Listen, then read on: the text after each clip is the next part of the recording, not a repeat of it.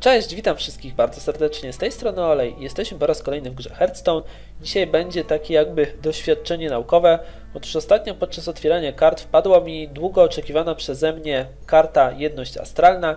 Jest to karta, która daje nam 10 kryształów many na stałe, ale minus jest taki, że odrzucamy całą rękę.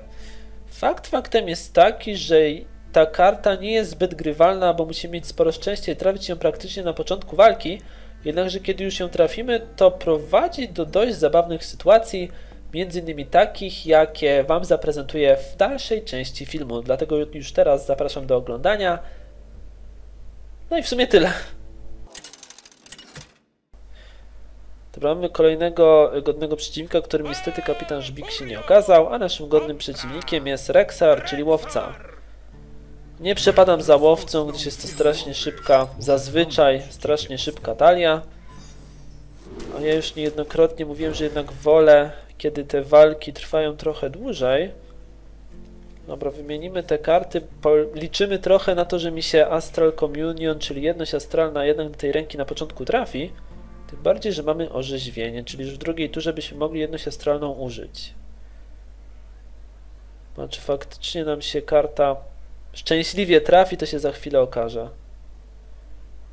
Byle ją do drugiej tury dostać, to myślę będzie wszystko w porządku.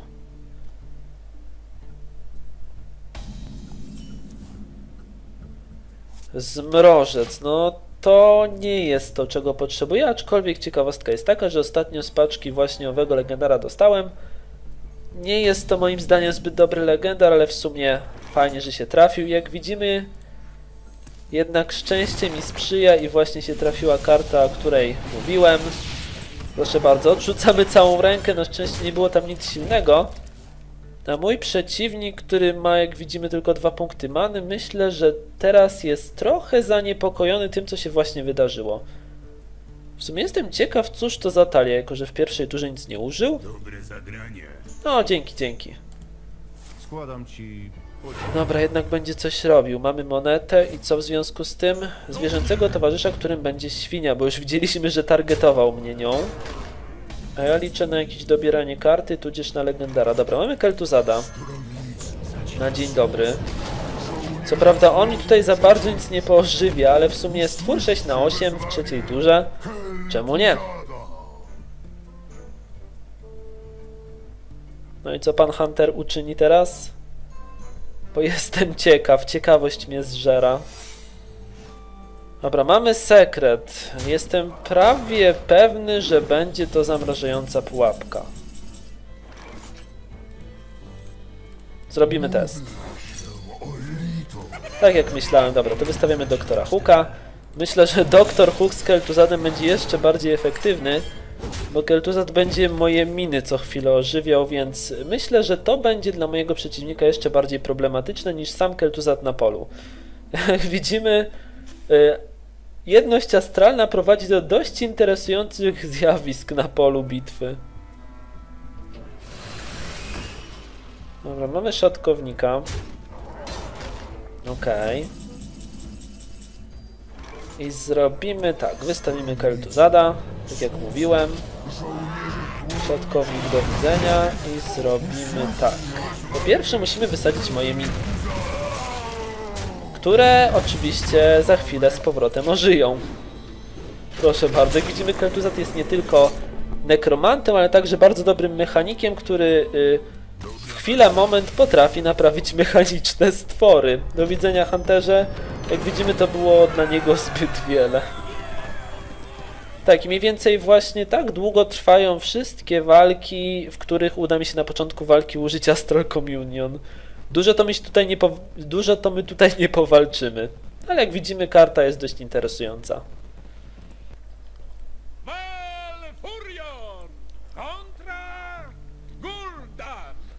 Dobra, mamy czarnoksiężnika, a ja standardowo podczas nagrania muszę y, zajadać obiad. Nie no, nie obiad, kolację. Za późno na obiad. Dobra, wymienimy wszystkie karty. Liczę mimo wszystko, że mi się Astral Communion na dzień dobry do ręki trafi. Jak widać, niestety tak się nie stało. No dobra. O, a jednak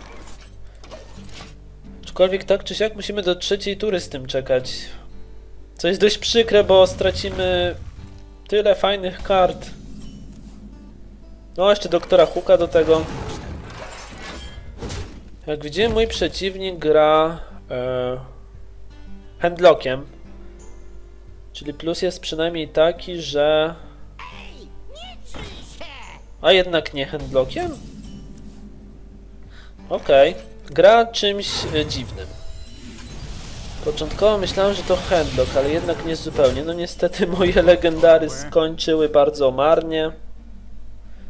Miejmy nadzieję, że kolejne mi wpadną do ręki bardzo szybko, bo aż musiałem do czwartej tury czekać z Astral Communion, czyli z jednością astralną. Co to jest w ogóle na rysunku? To jest jakaś laska z peleryną na wzgórzu i w tle jest różowy księżyc, okej. Ostatnio był hype na czerwony księżyc, ale jak widzimy różowy także występuje. Dobra, bez twarzowego obserwatora się pozbędziemy. I zrobimy tak, teraz sporo y, dobierania kart mi się trafi, ale teraz to już trochę za późno na to i mimo wszystko wolałbym jakiegoś dużego legendara dostać, no ale... Jak widzimy, niekoniecznie się chcą trafić.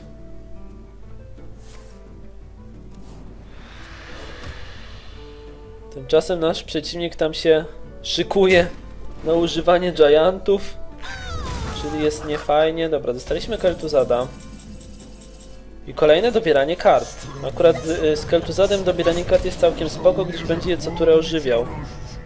Więc jak dobrze pójdzie, to nam się uda sporo kart dobrać. O ile nasz Keltuzad to przeżyje. Bo jak wiadomo, Czarnoksiężnik może go bardzo szybko w ten oto sposób wyeliminować. Dobra, mamy drzewca wojny. Ale myślę Ragnaros jest lepszym wyborem w tej turze. Więc użyjemy Ragnarosa z nadzieją, że zbije impa mojego przeciwnika. Uderzył w twarz, ale myślę, że to w sumie też nie jest tragedia. Problemem może być natomiast to, że w związku z tym, że mój przeciwnik dostał w twarz, to teraz może użyć Molten Gianta. Ochlikoza, no dobra. Widzimy, szykuje się na zabicie mojego biednego Ragnarosa. Śmiertelny wir. No to było dość e, przewidywalne z jego strony. Tutaj mnie nie powiem, żeby zaskoczył. Dobra, zrobimy tak. Kurczę, nie był, użyliśmy to Astral Communion na początku, ale karty nam się tak źle ułożyły, że zaraz mamy dziesiątą turę i tak naprawdę nic z tym nie zyskaliśmy. Mój przeciwnik tak jak miał przewagę nad nami, tak nadal ma po użyciu Astral Communion. Eee, mamy Gwiezdny Ogień, aczkolwiek wolałbym użyć jednak coś innego, jakiś stwór by mi się przydał. Dobra, mamy Nefariana, którego niestety teraz nie bardzo mam jak użyć. Musimy poczekać z nim do kolejnej tury. W sumie z Nefariana mogę dostać e, to zaklęcie Czarnoksiężnika, które zabija demona i odnawia 5 punktów życia. Nie wiem czy wiecie, ale to zaklęcie działa na bohatera, który zamienił się w Lorda Jaraxusa, więc jeżeli coś takiego będzie miało miejsce, to może się skończyć dość zabawnie.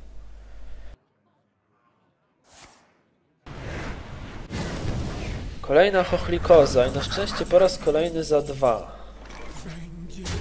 Dobra, dobierzemy sobie jeszcze jedną kartę. Kolejne orzeźwienie. Na początku te orzeźwienia by mi się przydały, a nie teraz. Dobra, co dostaniemy z Neferiana? O, o. Twisting Nether. No dobra, robi się ciekawie. Nie powiem. Jak się nawystawia bardzo brzydkich giantów, to zawsze możemy się ich w ten oto sposób pozbyć.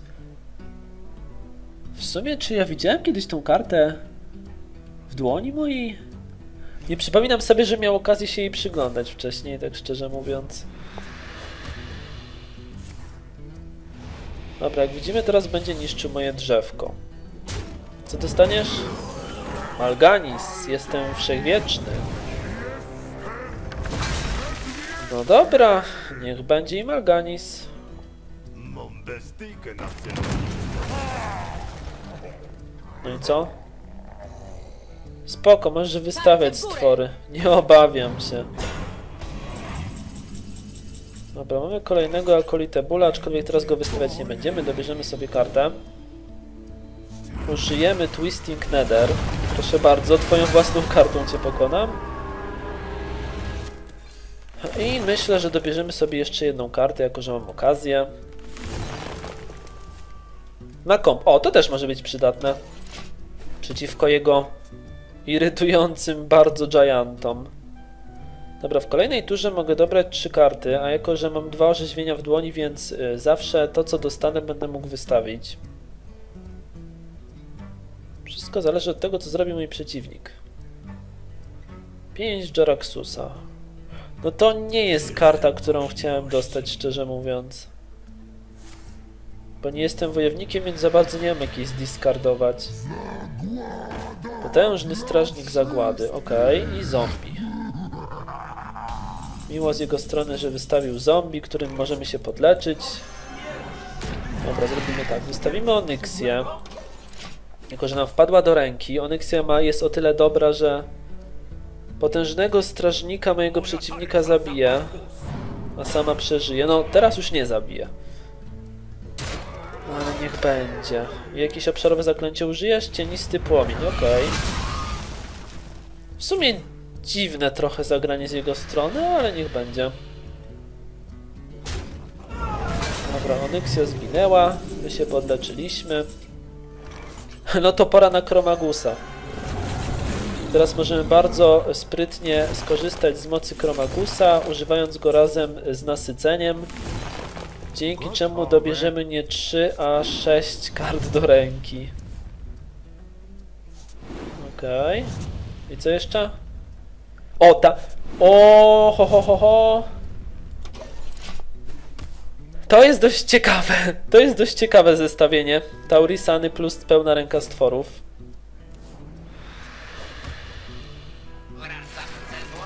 Niestety kolejna karta, która nam wpadnie do ręki zostanie e, brutalnie zjarana. No ale trudno się mówi.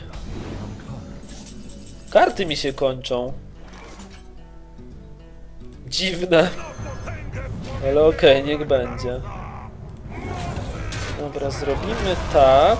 E, Użyjemy 5 Jaraxusa, w co uderzyła w zombiaka, okej. Chciałem przy okazji zwrócić uwagę na to, że jest to jedna z kart, która e, zyskała nową animację w ostatnim patchu, który miał miejsce kilka dni temu.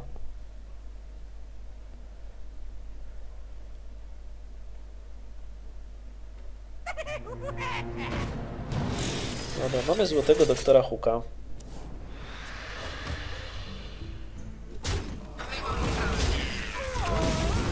A mi się karty skończyły.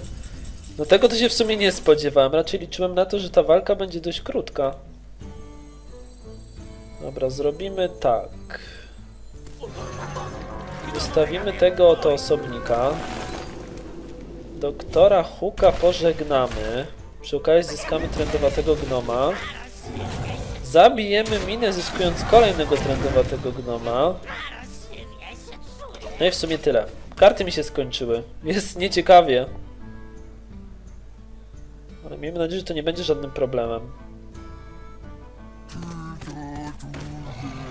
Wow! No to mu podarowaliśmy darmowe leczenie za 7.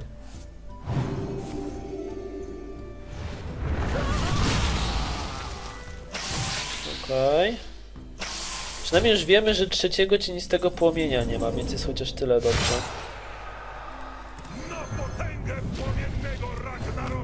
Dobra, miny się pozbędziemy. W sumie powinienem najpierw ją zbić, a potem wystawić Taurisana. Właśnie dlatego, że teraz od niej niestety oberwie. Dobra, w kolejnej turze możemy wystawić dwa razy drzewca wojny. No powiem wam, że nie spodziewałem się, że walka może być taka długa na tej talii. Szczerze mówiąc. Użył mocy specjalnej, żeby dobrać ostatnią kartę. Dziwne. Ale ta walka jest ogólnie dziwna od samego początku, nie ma co się dziwić w tym momencie. Dobra, drzewiec wojny razy dwa. Za dużo to mi w tej dłoni już nie pozostało. Plus jest taki, że chociaż mamy sporą obronę po swojej stronie. Nie mam czasu. O, Sylvanas. A to ciekawe.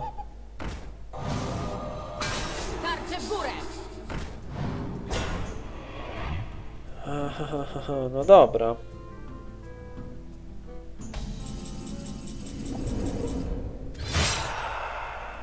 To myślę, że zrobimy tak. Po pierwsze pozbędziemy się tego oto kolegi, zyskując śmierdzącego parszywego gnoma.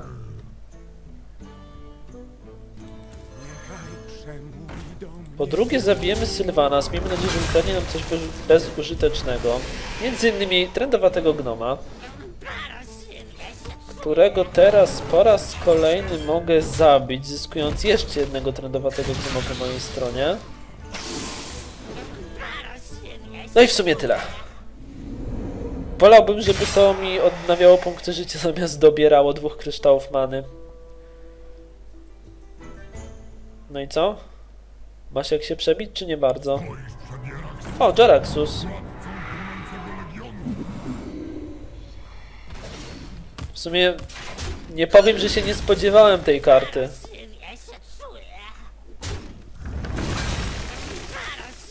Dobra, inwazja trendowatych gnomów po mojej stronie. Ciekawe. Co nie zmienia faktu, że tak czy siak walka się w tej turze kończy, ale ta walka trwała tak długo, że aż chyba to wrzucę na YouTube'a. Dobra, mamy zwycięstwo, wszystkim się skończyły karty. Dobra, myślę, że mimo, że co prawda ta druga walka nie pokazała efektywności y, jedności astralnej, tak jak walka numer jeden, którą wam pokazałem, to myślę, że i tak obie walki się pojawią w jednym filmie. W kolejnym odcinku myślę, że pogramy sobie arenę, a może pojedynki rankingowe, sam jeszcze nie wiem. A za oglądanie dzisiejszego odcinka wszystkim dziękuję, trzymajcie się, do usłyszenia następnym razem, cześć!